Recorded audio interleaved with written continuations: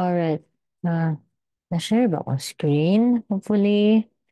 Um, good day, class. So, I'll be discussing to you the Poisson distribution. So, um, Poisson distribution class is used to model discrete events that occur infrequently in time or space. So, they have common assumptions no, with binomial distribution. If you can remember our binomial distribution, it's um it it's used to model discrete events gihapon and there are n number of trials and we want to get the probability of success no uh with x number of times sa isa ka total I mean sa total number of trials nimo so in Poisson distribution discrete gihapon siya pero there is they are used in different contexts imong Poisson ag imong binomial. For Poisson distribution um you are, say you're observing a certain event ba in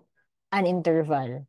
Okay? And this event happens infrequently. So, dili siya ingon nga constant happening um, in a certain interval. So, for example, para ma-visualize ninyo, you're observing number of cars passing by on the street for one hour.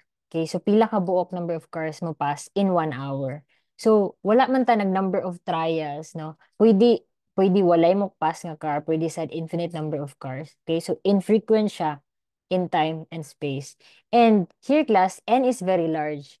And you have to take note that n here does not really imply the number of trials because again, we are not talking about number of trials. We're talking about the uh, occurrences of a certain event within a specific interval.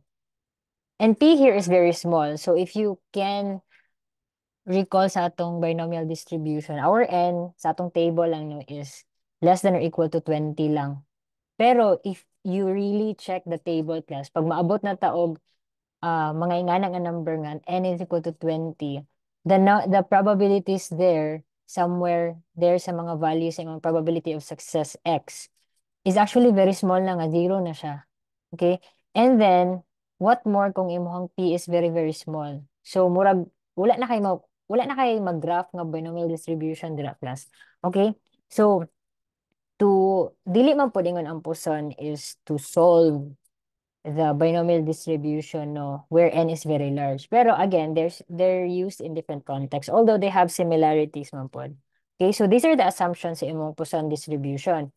First is that the probability that a single event occurs within interval is proportional to the length of the interval. What does that mean? Balik sa atong example nga, kung ga-observe ka og number of cars passing by in one hour, of course, um, maka-assume ta na if you lengthen the number of interval, for example, from one hour, himo nimong two hours, ang assumption nato is that ang mopas nga car will also increase because gi-increase man mo ang length of the interval. So, mo na yung first assumption nga if you increase the length of interval, the probability po that that certain event occurs um, also increases.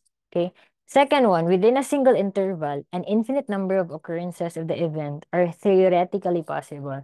So, we are not restricted to a fixed number of trials, just like your binomial na distribution. So here, again, naatay certain interval, again, dito sa, ta sa one hour. Posible class nga atong number of cars that will pass by within an hour is infinite. Okay? Pwede siya daghan kaayo to the point nga large na ka siya nga number and it is infinite. Makaya siya o calculate for your Poisson distribution. That's the idea of your Poisson distribution. And then lastly, we have the events occur independently both within the same interval and between consecutive intervals. What does this mean?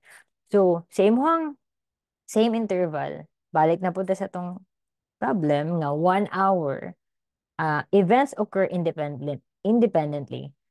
It means that kung naimula by dira nga isa ka car, it will not affect the probability of another car passing by. Okay, so they occur independently. Also, if you add another interval which is buhatan buhaton na tog 2 hours dili gyapon ga ka-affect ang cars that will pass by in the next interval didto sa number of cars nga ni pass by na sa imong first interval so that's what it means nga imong events occur independently. So if these assumptions class or these conditions are being met, then a certain problem can be um, visualized into this Poisson distribution. Alright, so what's now the probability of success X?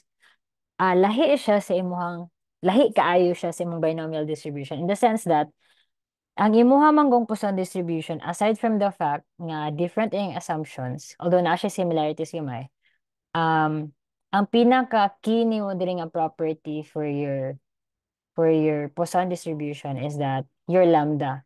Your lambda class is a constant that denotes the average number of occurrences. So, mo siya ang keyword nimo. If you have a certain problem and you're given with an average number of occurrences of a single event, then, na nasa inyong mind, ah, Poisson distribution na siya because we are given an average number of occurrences. So, mo na imuhang lambda. And that is a very useful nga variable diri sa imuhang pag kuha sa probability probability of x, no? So, if you have x, kind of small letter x dira, just use my pen. Oh. Okay, so kaning imong x diri class. Mo na imong number of success, di ba? For a certain, uh, let's say population na lang, kay para mas kuan. Dili mo gusto magamit og trial here. So, in a certain population, how many, uh, what's the number, what's the probability of x happening? Okay, so that would be equal to e raised to the negative lambda multiplied by lambda raised to x over x factorial. So, ang x, of course, mo na atong value sa number of success, no? Ang lambda, okay, how do you solve lambda? That is given to us here.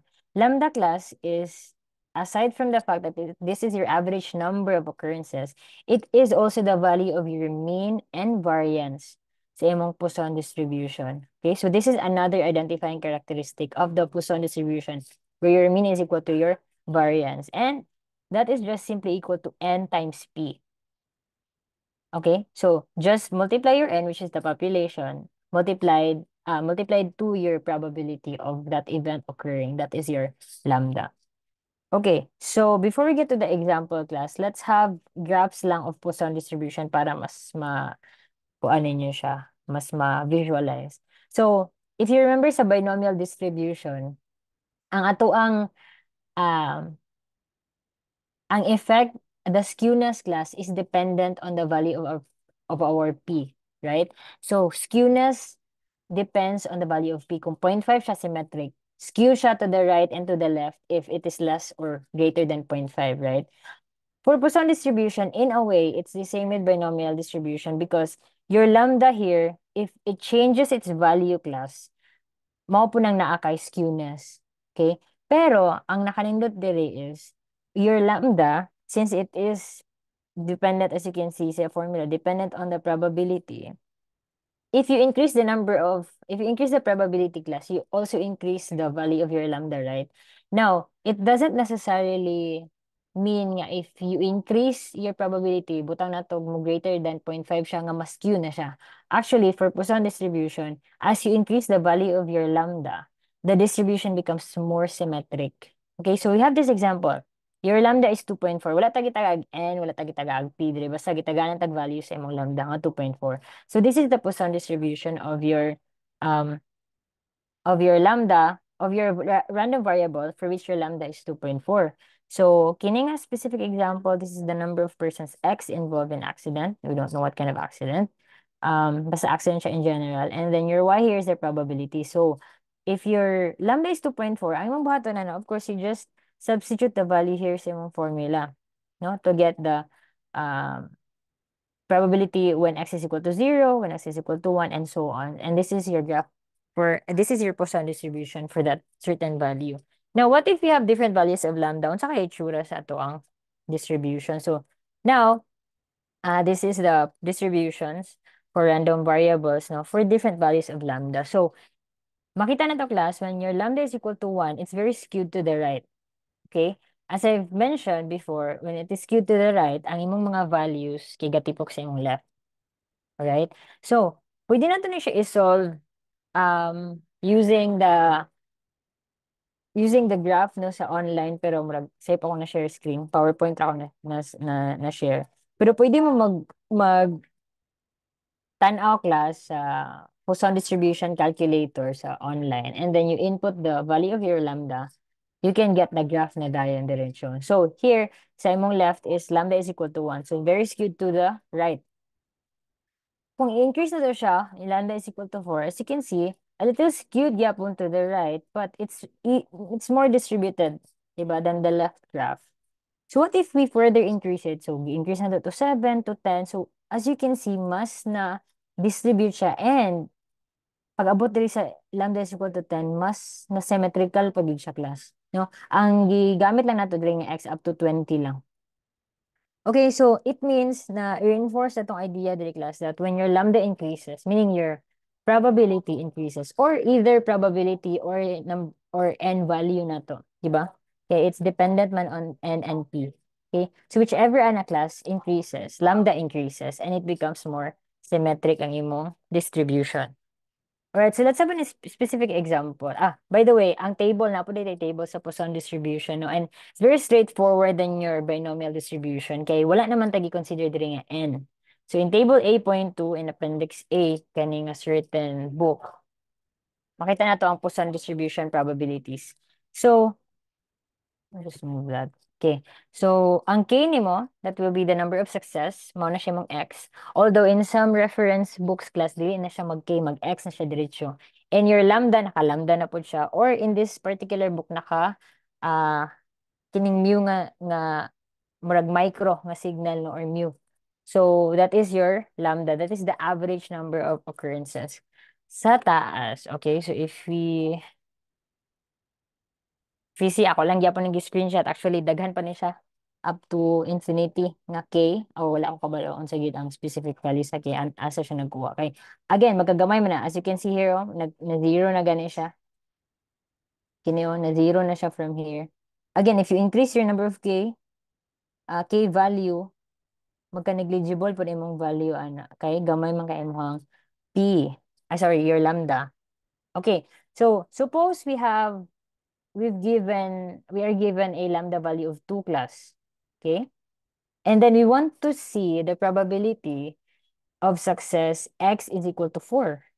Same rin po sa itong binomial, ato na siyang tanaw na yahang value dira. So, that would be 0.0902. Okay, so that's how you get the probability from your Poisson probability table.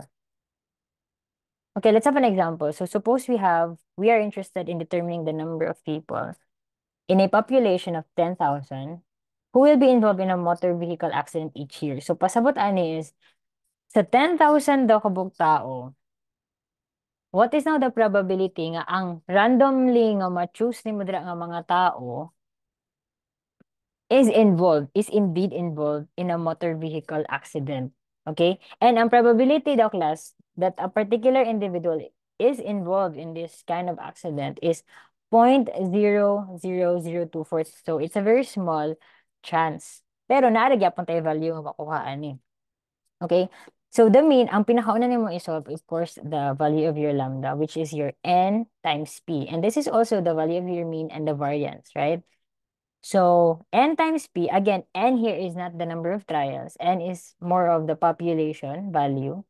That is 10,000. Multiplied by the probability that your event is occurring. So that is 0.00024. Your lambda is 2.4. So, dali na kayo class. If you want to determine nga sa 10,000, wala daw kay makuha o wala daw kay uh, pila ang probability nga wala wala sa 10,000, okay, zero number of people are is is or are involved in a motor vehicle. Pila ang probability ana. So, we just input the lambda here if you uh have taken notes sa ato ang uh, formula for Poisson, no? And then this is your lambda raised to x, and then this is your x. Okay, so input lang natin, then you have 0.091. Next is, what is the probability that among the 10,000, one person is involved in a motor vehicle. Siya nga value, okay? So that is 0.218. What uh, what is now the probability pod nga duha? That is 0.261 and so on. What if tulo? That is 0.209. So you can uh, solve until definitely uh, kanang technically any value that you want to get. Okay? So what if lang pangutanon mo nga, what is the probability that among the 10,000, five people are involved in a motor vehicle? Of course, you you just substitute the x uh, as 5. Kani. Okay? And then this value remains 2.4. Right? So if you graph this again in a uh, Poisson distribution calculator online class, mo niyang graph. No? So, nana po siya value sa imuhang, imuhang mean, and then your uh, variance, 2.4. And then your standard deviation, wala ka problema because that is just a square root of your variance.